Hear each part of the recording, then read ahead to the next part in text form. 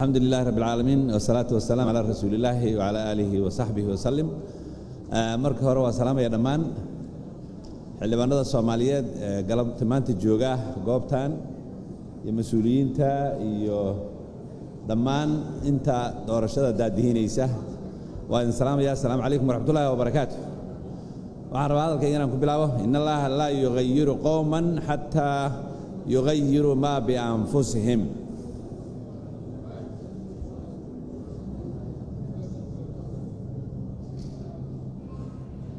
waxaa kaloo qur'aanka ilaahay noogu sheegay waina lilinsaani ilaa maa sacaa waina sacyahu sawfa yura.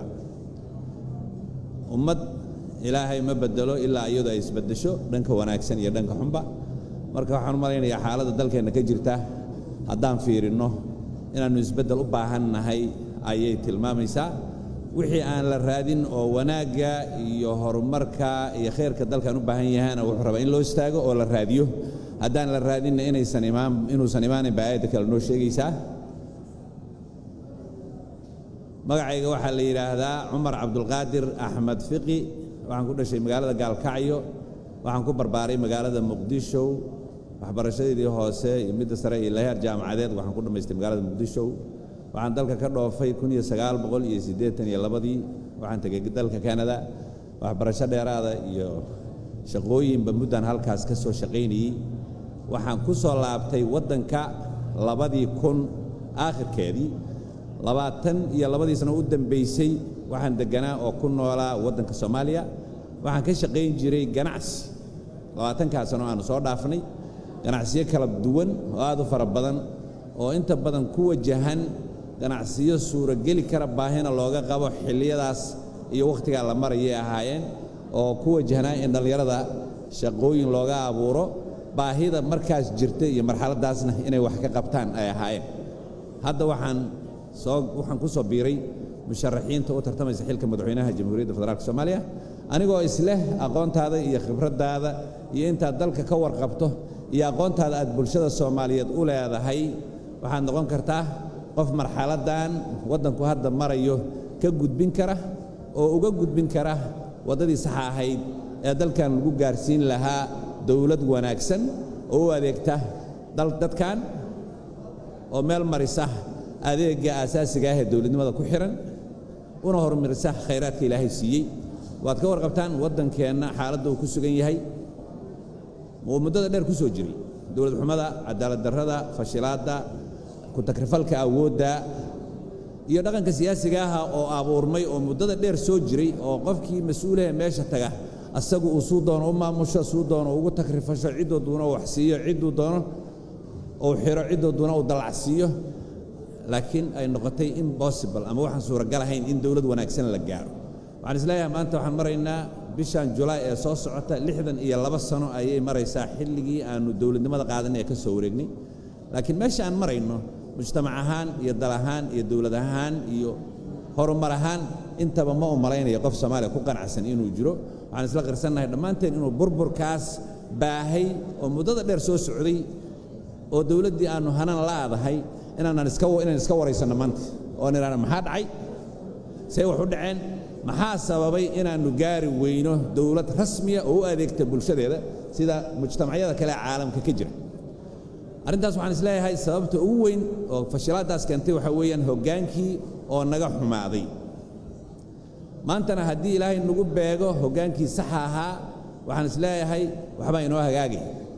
Waxaan u malaynayaa lixdankaa sano waddadii aan haynay waxay ahayd waddo khaldan. Waxaannu u baahannahay hoggaamiye maantay ka weecin kara waddadii hore oo bilaabi kara waddo cusub oo soomaali ku midoobi karto oo danaheeda ku walaaloobi karto oo mustaqbalkeeda ku dhisan karto oo ay ku hiigsan karto dowlad casriya oo danaheeda iyo masaalixdeedana ay ku ilaashato horumarka bulsho ay u baahantaana gaarsiin karta. Anigu waxaan u taaganahay maantayto inaan noqdo hoggaamiyahaas fahamkaas leh aqoontaas leh khibraddaas leh dadkana si weyn u yaqaana bulshada soomaaliyeed dhaqan iyo dhalashaba la wadaaga dhammaan gobollada soomaaliyeed waan is leeyahay maanta waxaad hoggaamin kartaa dadka soomaaliyeed oo aad ka weecin kartaa waddadii hore oo waddo saxa oo dowladeed oo danahooda iyo mustaqbalkooda ilaalisa ayaad hoggaamin kartaa. Dowladda aan u baahannahay anugu waxaan is leeyahay waa dowlad muwaadiniyad ah oo aaminsan muwaadin. Oo qofka muwaadinka xuquuqdiisa ilaalin karta xorriyaadkiisa ilaalin karta naftiisa ilaalin karta maalkiisa ilaalin karta sharaftiisa ilaalin karta. Oo qofka muwaadinka ah uu kartidiisa iyo aqoontiisa ku meel mari karo. Asagoon cidna u baahan dadkiisana wax ku tari karo dalkiisana wax ku tari karo. Waxaan u baahannaha dowladda ilaalin karta xuduudaheeda ilaalin karta dhaqanka iyo diinta muwaadiniinteeda ilaalin karta khayraadka ilaahay siiyey bulshadeeda una horumarin karta khayraadka ilaahay siiyey. Dowladdaasaan u gaarno waxay u baahan tahay hoggaamiyihii saxa ahaa ee aragtida saxaa leh ee dalkan ku jihayn kara waddadaa saxa ah haddii ilaahay qadaro aan madaxweyne dalka ka noqdo aad ii doorataan waxa ugu horreeyo runtii aan qaban doono waxaa ka mid inaan ka shaqeeyo waddankan in la helo xasillooni siyaasadeed. Waayo haddaan la helin xasillooni siyaasadeed oo khilaaf iyo isqabqabsi uu mar walba taagan yahay fadhigii lagu fakeri lahaa oo wax lagu qaban lahaa ma imaanayo xasillooni siyaasiyaed waxaa asal u ah in hoggaamiyuhu uu dulqaadkeedii leeyahay ogol yahay mucaaradka uu soo dhoweeyo oo waddanka ay la leeyihiin uu muujiyo dib u heshiisiintii dalkan aasaaska u ahayd in laga shaqeeyo iyo in la hirgeliyo nidaam dimuqraadi ah oo bulshada soomaaliyeed ay ku doorato mas'uuliyiinteeda oo la bilaabo. Marka runtii xasilloonida siyaasadeed si aan u gaarno tallaabooyinkaasaannu qaadi doonnaa waxaana ballan qaadayaa in doorashadan doorashada xigta dadka soomaaliyeed aannu u abuurno fursad dhab ah oo qof iyo cod ah oo ay ku doortaan mas'uuliyiintooda waxaan u malaynayaa teendhadan isumaatinkii ugu horreeyey wuxuu ahaa toban sano ka hor tobankii. Toban sannadood ayaannu ka gudbi la'nahay inaannu teendho isugu nimaadno ajnebi ilaalinaayo oo aan masiirkeenna ku gaamin. Haddii ilaahay qadaro aan noqdo mas'uul teendhadan waa dumin doonaa. Teendho dambena dadka soomaaliyeed doorasho isuguma imaan doonaan laakiin goobo doorasho oo ay shacabku ku codeeyaan ayaan u gudbin doonnaa midda labaad runtii waxaan rabaa haddii ilaahay qadaro inaan dhammaystirno nidaamka federaalisimka ah ee bulshada soomaaliyeed ee isaga afgaratay. Nidaamkaasi suu u dhammaystirmo wuxuu u baahan yahay dastuurka in la dhammaystiro lagu qeexo dastuurka mas'uuliyaadka iyo waajibaadka ay kala leeyihiin. Xeerarka maamul ee dalka ka jira. Dowladda dhexe maxay mas'uul ka tahay? Oo loo daynaya dastuurku u oggolaaday maamul goboleedka muxuu leeyahay oo xaq u leeyahay. Dowladaha hoose maxay xaq u leeyihiin haddaan laga heshiin oo si dastuuriya looga heshiinin waajibaadka iyo mas'uuliyaadka iyo jurisdictionka waxa ay yidhaahdaan ee ay leeyihiin heerarka kala duwan ee maamula dalka ka jira khilaafku ma dhammaanayo. Marka waxaannu xoogga saaraynaa dastuurka inaannu dhammaystirno oo aannu ku qeexno dhammaan waajibaadka ummada soomaaliyeedna ay ku wada qanacdo waxaan kaloo samayn doonnaa si arrintaas runtii ay u horgasho maxkamaddii ama maxkamad sare dheh ama maxkamad dastuuriya dheh oo ay khasab tahay oo ka madax bannaan tahay hannaanka dawliga amase hay'adaha fulinta oo ka garsoorta wixii la ysku qabto oo maamullada kala duwan ay isku qabtaan. Oo awoodu leh inay ayadu noqoto hay'adda sharciyada u dambaysa ee ka garsoorta wax kastoo la ysku qabto. Aan cidina ka daba hadli karin madaxweynena uusan eryi karinin mushaarna uusan ka goosan karinin ee ah hay'ad dastuuriya oo madax bannaan. Waa runoo mar walbaba arrintaas waa laga hadlaa laakiin madaxweyne hirgeliya ayaan imaanin. Waxaan jeclahay inaan noqdo madaxweynihii u horreeyey oo hirgeliya arrintaas oo si dhaba u hirgeliyo qodobka saddexaadaan is leeyahay runtii way mudan tahay inaan shacabka soomaaliyeed la wadaago. Haddii aan madaxweyne dalkan ka noqdo aad ii dooratan waxa weeyaan inaannu samayno waxa la yidhaahdo reform package. Amase dibo habayn nidaamka dawliga ee dalka ka jira dhammaantiis. Hadday noqoto qaab dhismeedka dawliga ah hadday noqoto hannaanka maamul ee dalka ka jira hadday noqoto nidaamka cadaaladeeda dalka ka jira hadday noqoto sharciyada hadday noqoto adeegga asaasiga ah dalka ka jira. Waxyaabaha ugu muhiimsanna waxa weeyaan inaannu sharciyadda ama nidaamka garsoorka ah ee dalka ka jira madax bannayno isla markaasna aan ku soo darno qaaliyaal shareecada islaamka yaqaana nidaamka garsoorka. Waayo dhaqankeenna iyo diinteenna oo gundhig u ah mujtamaceenna garsoorkeenna ka mid maaha maanta.